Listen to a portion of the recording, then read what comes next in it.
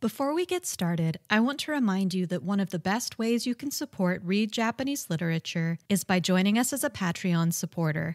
You can visit patreon.com slash read Japanese literature right now and get bonus content for this episode, including more about the childhood stories that inspired Hayao Miyazaki, Miyazaki's relationship with his family and his pre-Ghibli career, dark fan theories about My Neighbor Totoro, and what it was like to view My Neighbor Totoro and The Grave of the Fireflies as a double feature.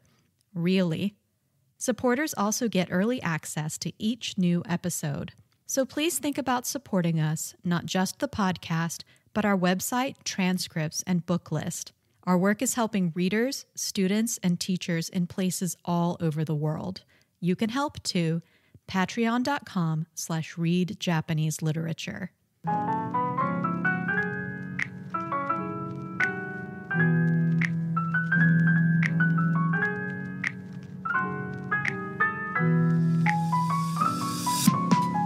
This is Read Japanese Literature. My name is Allison Fincher. Read Japanese Literature is a podcast about Japanese fiction and some of its best works. All the works we discuss are available in translation, so you can read along if you want. You can find out more at readjapaneseliterature.com. First, I want to say a big thank you. Last week, in November 2023, Read Japanese Literature hit a big landmark 25,000 total episode downloads. I'm really proud to be supporting the global community of people who love Japanese literature. Thank you for being a part of it. This is a special time for a subset of people living outside of Japan who love Japanese culture. We're finally getting access to the latest film by that paragon of Japanese animation, Hayao Miyazaki and his animation studio, Studio Ghibli. In English, the film is called The Boy and the Heron.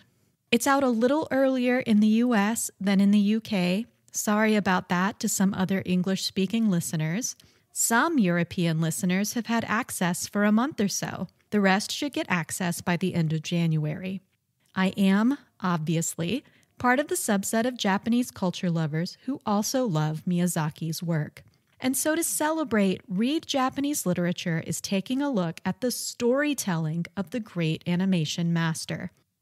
Why is this still literature? Because Miyazaki's stories haven't been created in a vacuum. They come from Japanese books, European books, American books, and even when they come from Miyazaki's own imagination, there are clear inspirations from tales told by other people. So that's what we're looking at today the stories of Hayao Miyazaki and Studio Ghibli. We'll start with a biography of the man and the studio. I'll explain why both in just a minute. We'll move on to those stories, and we'll finish with a look at Eiko Kadano's novel, Kiki's Delivery Service, the source text for Studio Ghibli's first major success.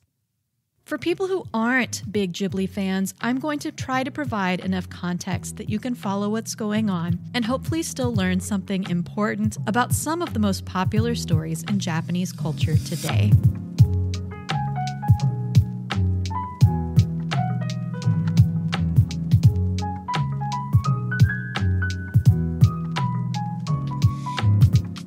To weave together the biography of Hayao Miyazaki with the tale of Studio Ghibli.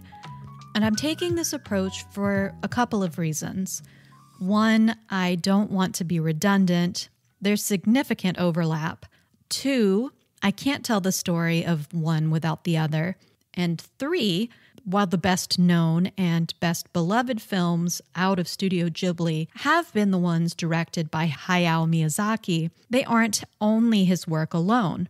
There are other people whose work has been hugely important to the studio, most notably the work of co founders, director Isao Takahata and producer Toshio Suzuki, and of course, even less influential people, down to the guy who brings the animators their coffee, deserve credit for their contributions too. I'm relying a lot today on the work of Susan Napier at Tufts University in Massachusetts, namely her book, Miyazaki World A Life in Art. It's a great resource, an accessible scholarly work in English that weaves together Miyazaki's biography with his body of work. But as always, I'll be bringing in a lot of resources as well as my own reading and watching of primary sources. And as always, I'll cite my sources in the bibliography that you can find on the episode page. Hayao Miyazaki was born on January 4th, 1941, in Tokyo. This means he was born several years into Japan's Pacific War, a little less than a year before Japan's attack on Pearl Harbor and Japan's declaration of war on the United States. The Miyazaki family fared better than many other Japanese people during the war. Hayao's father and uncle owned a factory that made parts for Japan's iconic warplanes, the Mitsubishi Zeros. Among other wartime roles, the Zeros were instrumental in the attack against Pearl Harbor. But Miyazaki seems to feel guilty about his family's relative wealth in a time of severe deprivation for almost everyone else. He spent 1944 to 1946 living on his grandfather's estate while many other people in Japan were starving to death. Susan Napier relates several of Miyazaki's most persistent motifs to his childhood the horrors of war, environmental devastation, mothers and powerful women. You can see powerful women in many of Miyazaki's stories. Sometimes they're morally ambivalent, sometimes they're the protagonist, sometimes they're on the protagonist's side. Miyazaki's mother, Yoshiko, was diagnosed with spinal tuberculosis, also known as Pott's disease, in 1947. Spinal tuberculosis occurs when tuberculosis bacteria usually from the lungs, infect the spine and cause the tissue between vertebrae to die and collapse. Yoshiko actually recovered thanks to antibiotics that had been developed in the 1940s and lived until 1983. She died at 72 years old. But young Miyazaki's fear for his mother's life left a strong impression. Miyazaki and his mother weren't especially affectionate, but Miyazaki highly respected his intelligent, flashy, and tough minded parent.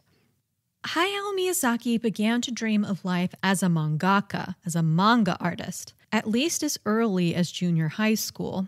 Precursors of manga had been around for more than a century. Something that looks more like modern manga had developed in the magazines of the Taisho era that we've talked so much about. But there was an explosion of manga in the post war period. Miyazaki was a fan of a lot of the most popular mangaka and their manga. Osamu Tezuka's Astro Boy is almost certainly the best known of these 1950s manga in English. Miyazaki thought his interests in manga made him kind of a dork. He said, quote, I was probably the only guy I knew in high school who actually read manga. If I'd told people then that I also drew comics, they would have treated me as though I were an idiot. Miyazaki also took oil painting lessons and he read a lot. He continued to sketch and begin his own manga stories, never finish them, throughout high school and college. Miyazaki graduated from Gakushuin University in 1963 with degrees in political science and economics. But his first job was at Toei Animation. Miyazaki says his real schooling was at Toei Animation. He started as what's called an in betweener. An in betweener is an animator who does the grunt work of drawing the more boring individual moving pictures between the most important images drawn by the main animator. A year later, in 1965, he married his wife, Akemi Ota, who was also an animator at Toei. Their son Goro was born in 1967, followed by another son, Keisuke, in 1969.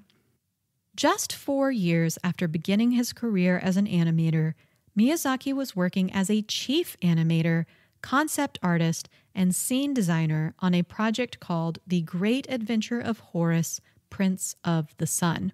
The film was important for a lot of reasons, but for our purposes today, it is important because it marks the beginning of Miyazaki's working relationship with Isao Takahata. Takahata would eventually co found Studio Ghibli with Miyazaki. Isao Takahata was born in 1935. That makes him six years older than Miyazaki. He came from more modest means. When he was growing up, his father was a junior high school principal. Like Miyazaki, his education has nothing to do with animation or even art. His degree from the University of Tokyo is in French literature. But unlike Miyazaki, Takahata wasn't interested in animation itself. He wanted to write and direct.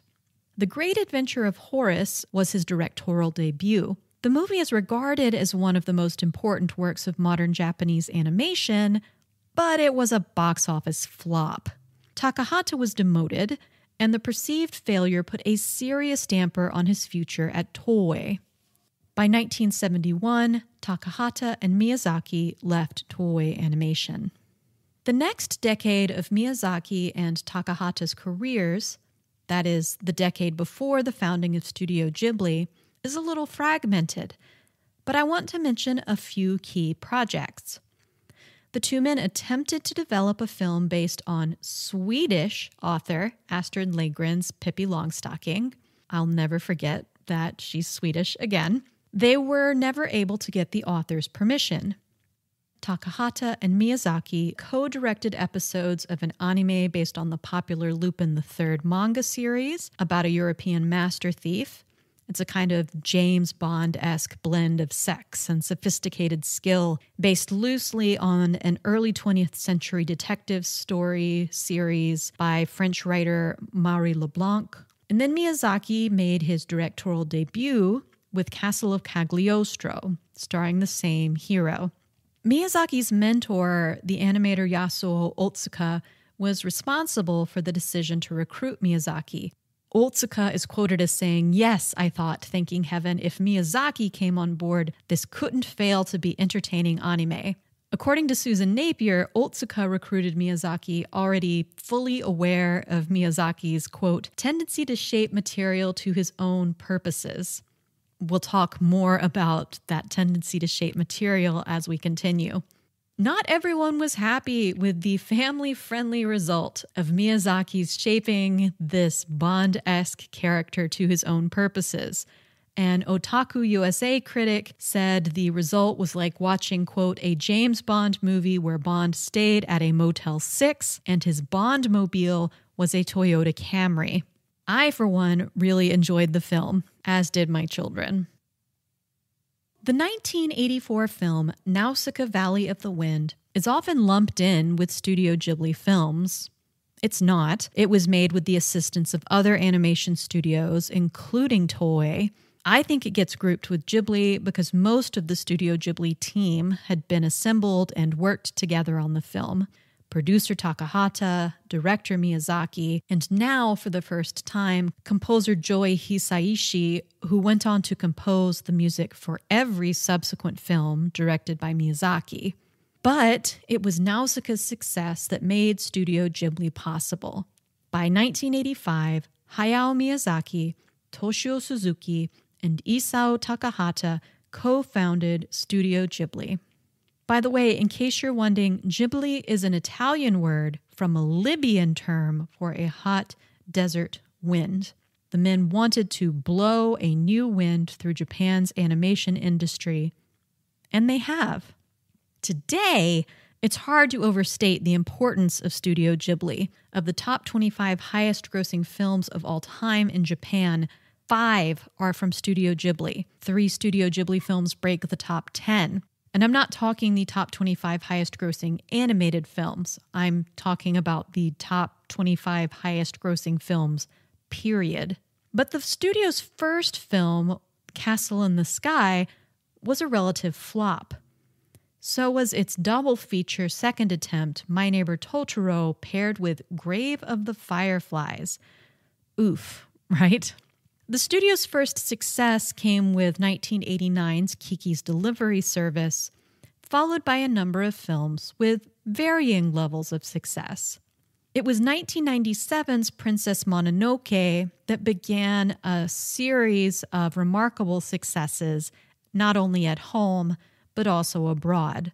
And then 2001's Spirited Away changed the game for foreign animation and won an American Academy Award.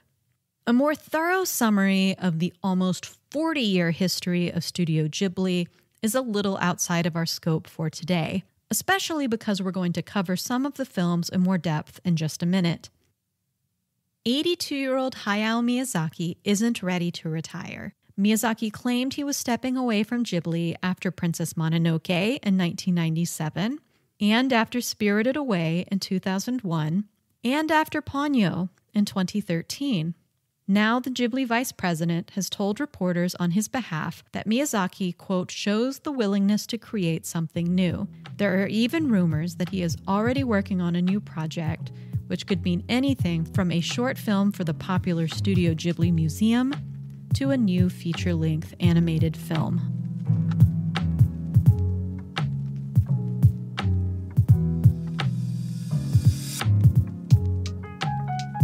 And now we get to the literature. In this section of the episode, I want to explore different kinds of sources for Studio Ghibli's movies.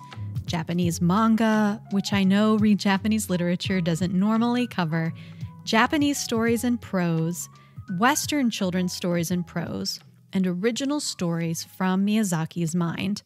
I'll zoom in a little bit on one example from each category to look at how members of Studio Ghibli developed that story into an animated film. I'm going to start with stories from manga because that is the most productive source of stories for Studio Ghibli.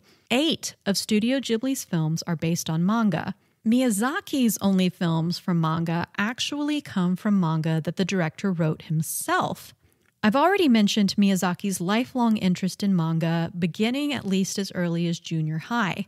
Even while working as an animator, he continued to draw manga. He did manga tie ins for some of the films and series he was involved in at Toei and after he left. He has published manga with his own stories under pseudonyms. For our purposes today, three of his manga are the most important because they eventually became the bases for films.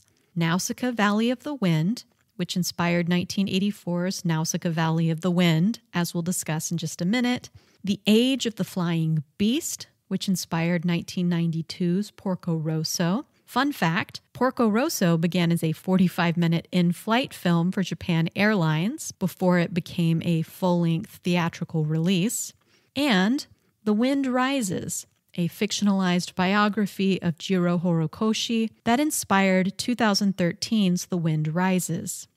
There are several other Studio Ghibli films directed by other members of the staff inspired by manga written by people outside of the studio. 1991's Only Yesterday is based on the manga Only Yesterday by Hotaru Okamoto and Yuko Tone.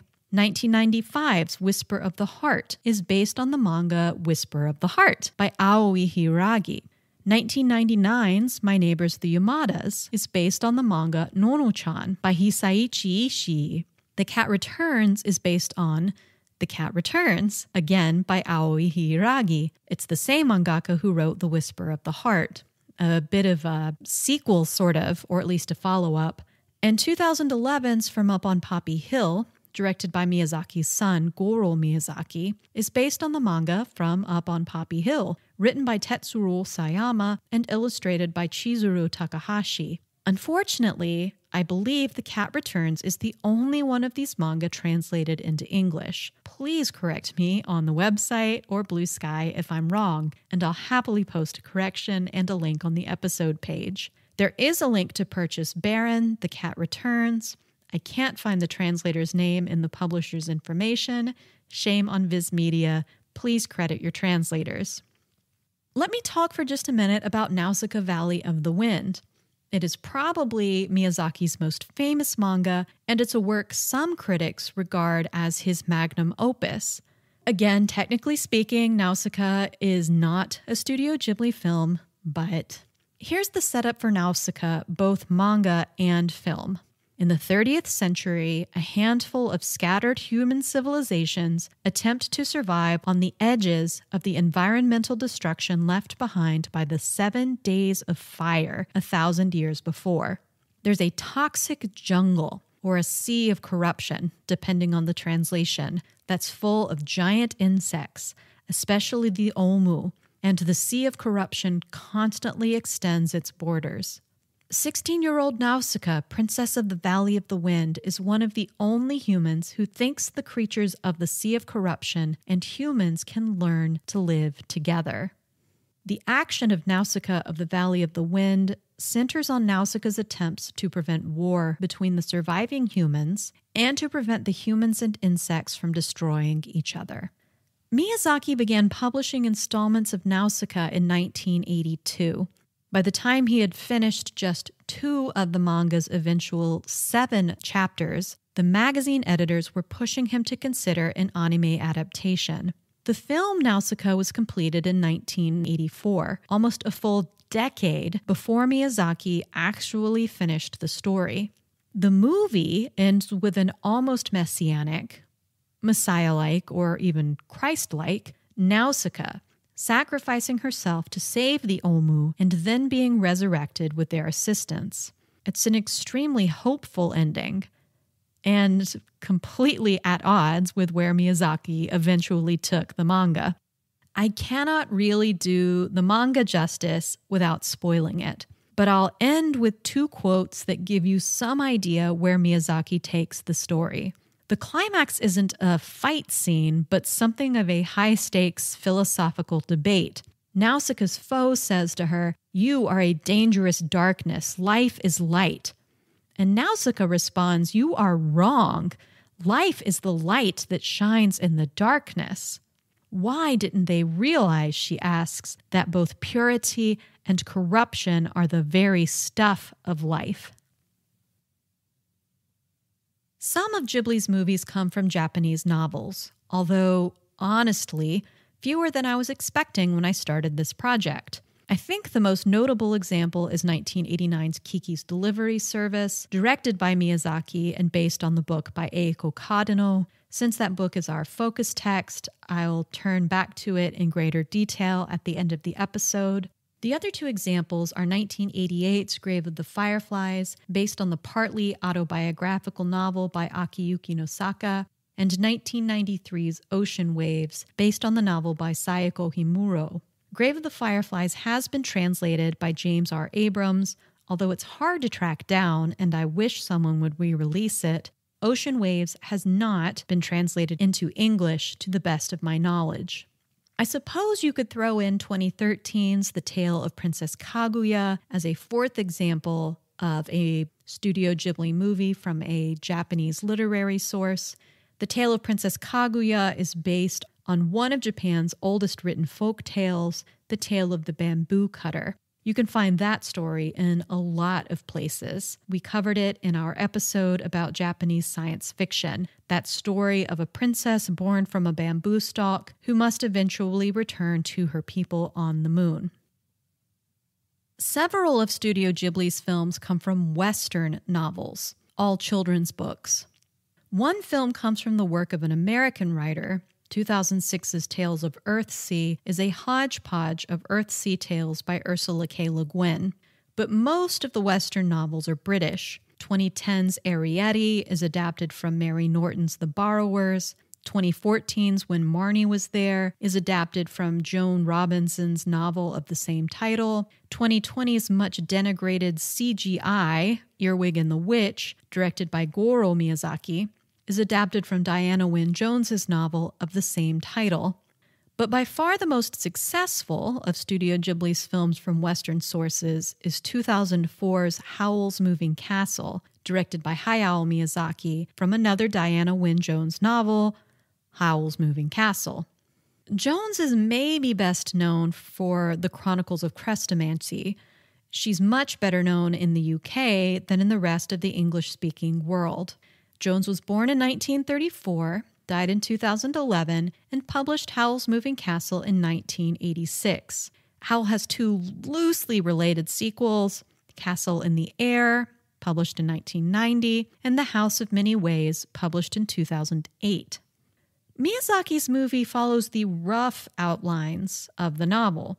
Sophie Hatter is a young woman with an old soul making hats in her family's hat shop. The Witch of the Waste curses her, turning her into an elderly woman, and part of the curse is that Sophie can't tell anyone. Sophie seeks out help from the wizard Howl, who lives in a moving castle. There are several notable details in the novel that Miyazaki omits. In a lot of ways, these details make Jones's story richer, certainly more coherent, although not necessarily any more meaningful. For example, in the novel, Sophie herself has magic, although she doesn't know it. She can talk life into objects. You can kind of see that in the film. It makes some parts of the movie make more sense. It explains how she's able to have a relationship with an animated scarecrow named Turniphead. It suggests explanations for how she's eventually able to, spoiler, save the fire demon Calcifer. In the novel, Sophie's sisters play a much bigger role. Because they play a bigger role, Turniphead and the wizard Suliman get happier endings. You can make inferences about what that means. I should clarify that in the novel, Suliman is a man and not a woman as portrayed in the film. And the endings of the book and film are completely different. In the novel, the war is more in the background, and the final confrontation is with the Witch of the Waste. Taking a look at these changes helps us to paint a picture of the ways that Miyazaki adapts his material. The story is more of a vessel he fills, a palette he paints with. Miyazaki is more interested in A, the meaning of the story, B, the themes that are important to him within the story, and C, the aesthetics of the story than he is with a completely coherent tale with neatly tied up loose ends or fidelity to an author's work. Jones liked what Miyazaki did with her story, or at least she did by the time she got around to writing about it in an author's introduction. Movies are always different, she noted in one interview. When she was asked about Miyazaki's film, she noted two surprises. She was surprised by Miyazaki's moving castle. She had not thought about the castle having feet. In her imagination, the castle was more like a hovercraft. And she considered Miyazaki's versions of her characters gentler and more noble. Some of Ghibli's most original films come straight and unfiltered from Miyazaki's imagination, but it's still possible to identify, let's call them inspirations for some of his stories. This is where we can get most invested in literature. Miyazaki conceived 1986's Castle in the Sky as a kind of boy's adventure story. It has a bit of Jonathan Swift's Gulliver's Travels. That's one of Miyazaki's childhood favorites. Other boys' adventure stories like Robert Louis Stevenson's Treasure Island. 1988's My Neighbor Totoro is extremely original. I think the biggest inspiration was probably Miyazaki's own life. Totoro is set in 1950s Japan. A university professor moves his 10 and 4 year old daughters to an old house in rural Tokorozawa, not far from Tokyo, to be closer to where their mother is hospitalized for a long term illness. Remember that Miyazaki was born in 1941, so he would have been about 10 years old at about the same point in history.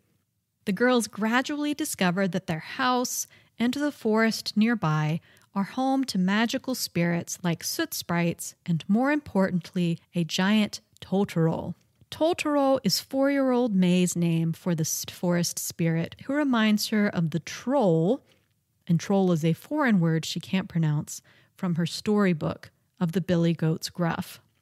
The story is divided between magical interludes and the very real details of 10 year old Satsuki learning to manage as woman of the house in her mother's absence. And both of the girls have to deal with their fear about their mother's illness.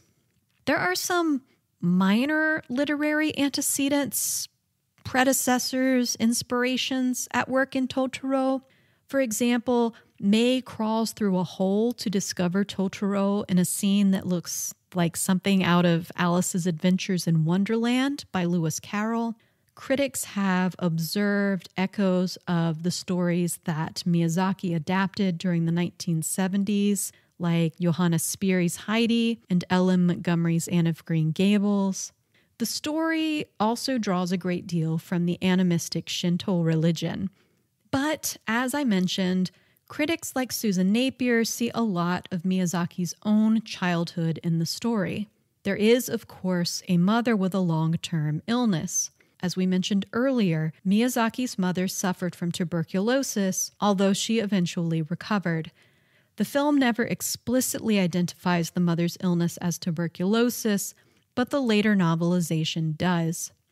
And the film shows the two little girls' terror that their mother may die.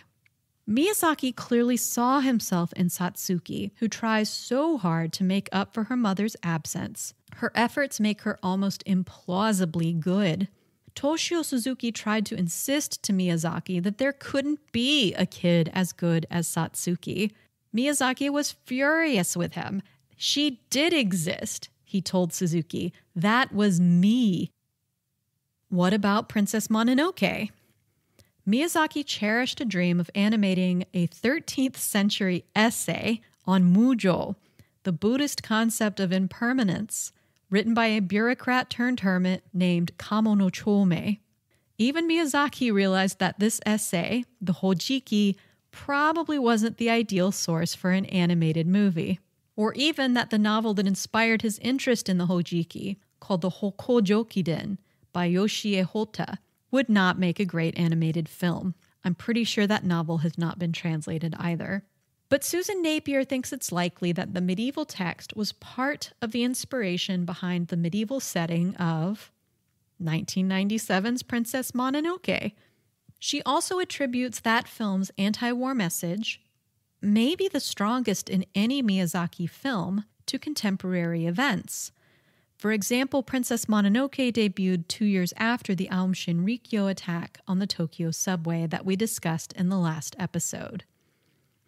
For 2000 Spirited Away, Miyazaki first considered Sachiko Kashiwaba's The Marvelous Village Veiled in Mist. You can learn more about Kashiwaba in our episode about Japanese children's literature. The Marvelous Village Veiled in Mist was Kashiwaba's first novel. It was translated into English for Japanese, English language learners, by Christopher Holmes.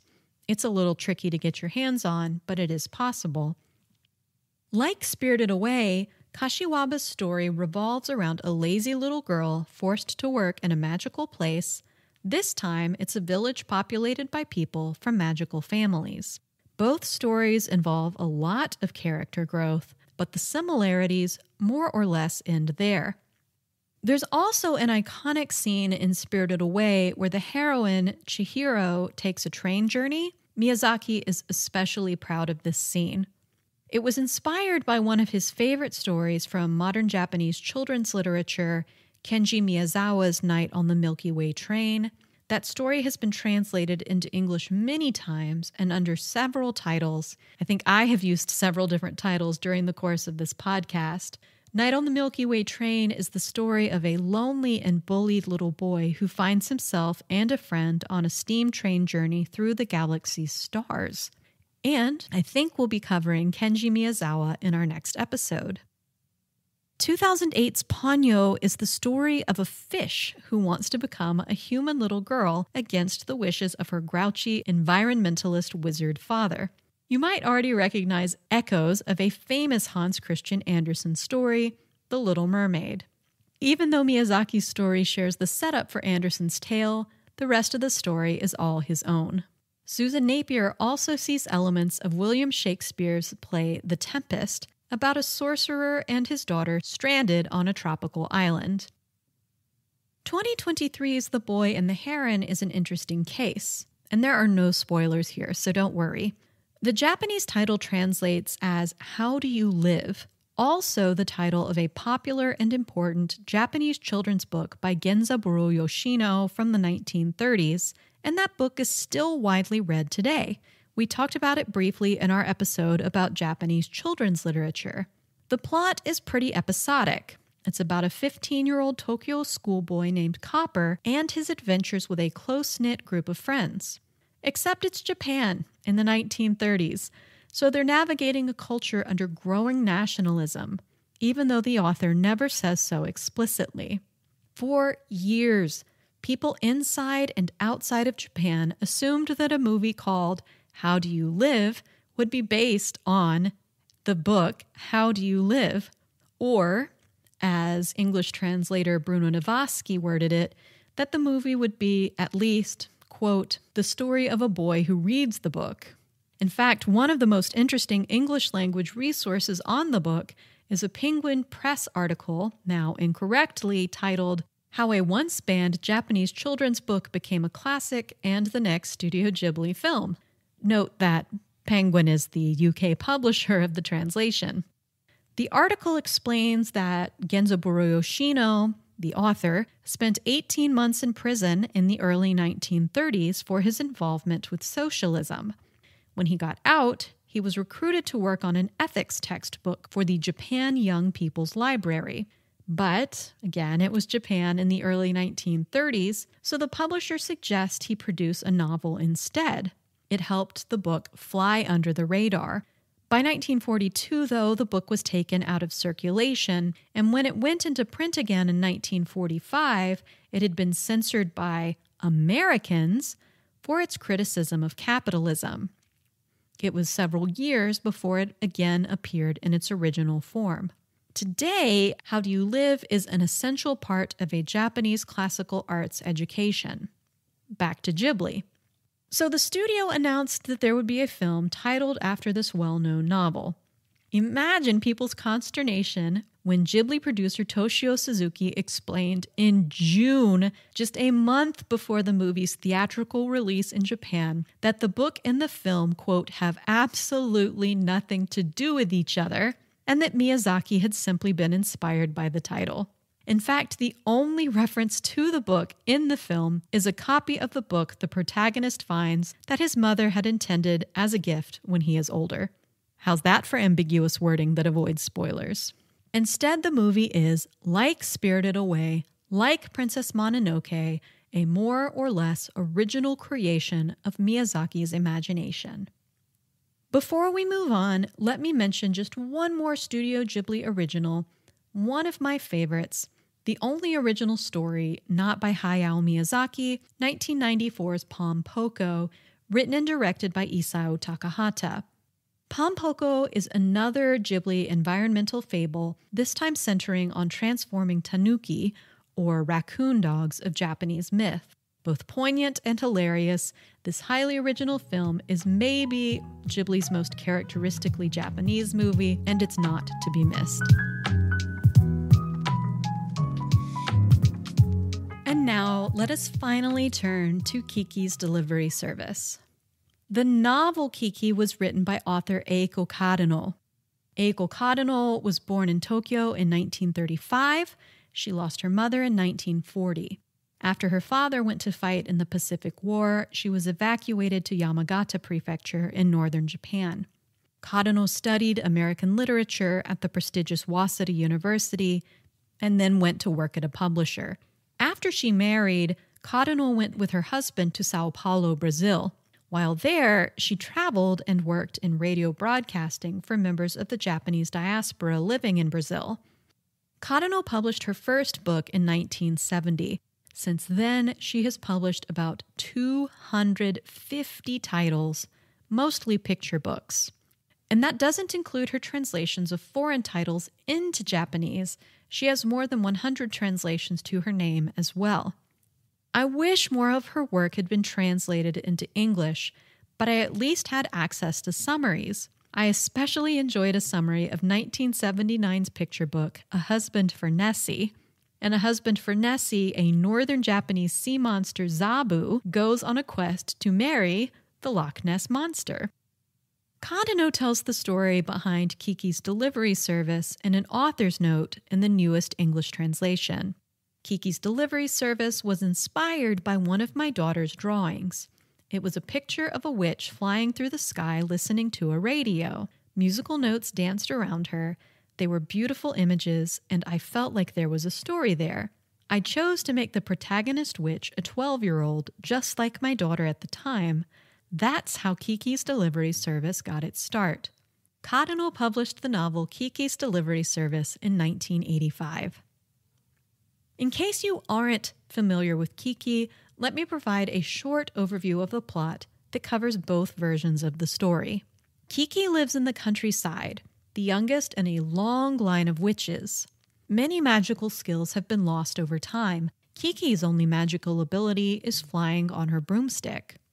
Now that Kiki has turned 13, tradition dictates that she should leave home and make her own way living somewhere new. On the night of the full moon, she flies away with a radio and her talking black cat, Jiji. She settles in a larger town and starts her own flying delivery service. I wrote a review of Kiki's delivery service for the Asian Review of Books when it was last translated into English.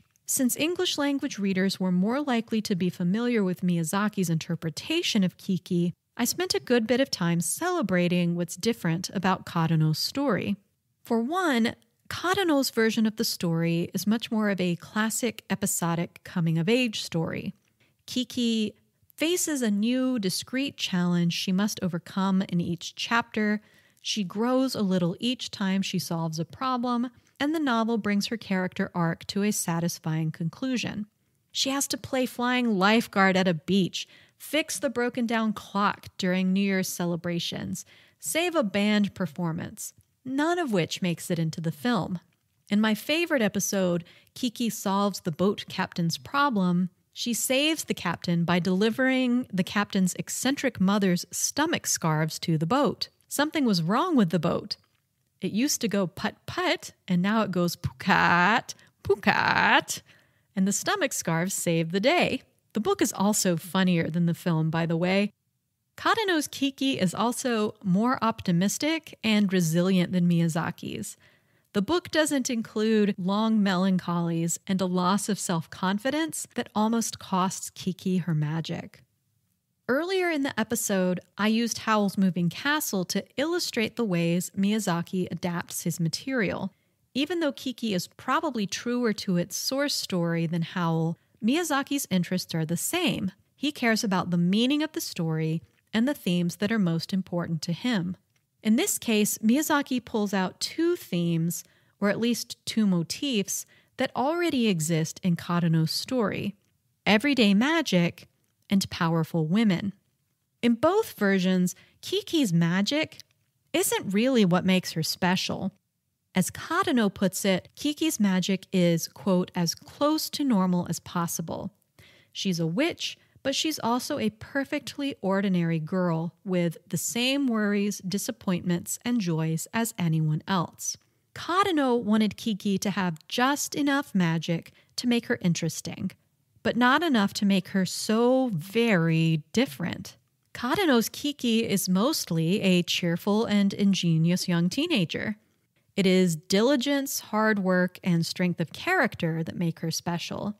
And these are the kinds of traits that Miyazaki routinely highlights in his heroes and heroines.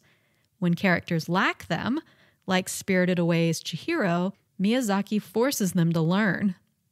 The women in Kiki are powerful in a multitude of ways. Kiki is, of course, a witch, as is her mother. There's the bakery owner, Osono, who takes Kiki in and stands out as a phenomenal wife and mother and community member. There is a painter who helps Kiki discover something beautiful in herself. There are even more powerful women in the book than there are in the film, and they all participate in the community in ways that are almost subversive. As scholar Kayoko Fujimori explains, Kiki, quote, can be considered to have been constructed to portray the ways women work and the ways women meet and connect through their work the power these women have means that they might, quote, to some extent be considered witches too. That's a motif that likely appealed to Miyazaki. Remember that almost all of his films include at least one powerful female character, even when they are morally ambiguous, like Spirited Away's Yubaba or Princess Mononoke's Lady Eboshi. there is something in them to be admired. I've read reports that Kadano was initially unhappy with the film's script.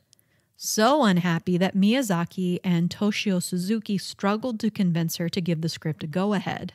By the time she was interviewed for the book's new English translation in 2020, she told the interviewer, quote, I basically believe that whenever something is made into a movie, it becomes a different work from the original. At the time, I asked that the title and the story's world be kept, and that Kiki's personality also align with how she is in the novel. Having read the book and seen the film, I think those two goals were fairly achieved. English speakers only have access to one volume of Kiki's stories. Kiki is a series with eight sequels, none of which are available in English, which is a real shame. Maybe we can successfully clamor for more. By the way, the most recent sequel was published last year in 2022. Kadano is in her late 80s. In the remaining volumes, Kiki and her best male friend, Tombo, fall in love. They marry and they have two children of their own. Eventually, the children turn 13 and leave home in search of magic of their own. We've talked about a lot of books and films today, so I guess I'll give a two way plug. Consider watching Studio Ghibli films and reading the books that inspire them because they are great stories. The books are not only examples of Japanese literature, but of the kinds of tales from overseas that Japanese people have enjoyed. And the films are some of the highest grossing of all time in Japan. Again, they represent the kinds of stories with wide appeal to Japanese readers and viewers. Plus, these are stories that have been cherished by people all over the world, myself included. Today, I've been reading from Kiki's Delivery Service by Eiko Kadano, translated by Emily Balistrieri. You can find a list of all the books we've mentioned in this episode on the episode page. Buy your books from our bookshop.org to support the podcast. And I've recently added a holiday gift guide, so check that out too. You can support the podcast by leaving a review on your podcast app of choice. The very best way to support Read Japanese Literature is through Patreon for as little as $3 a month. Remember that Patreon supporters get early access and bonus content for every episode, as well as updates on new English language releases of Japanese literature. Thank you so much to all our supporters, and a special thank you to our new Patreon supporters, Kaon and Jonathan. Find out how you can join them at patreon.com slash read Japanese literature.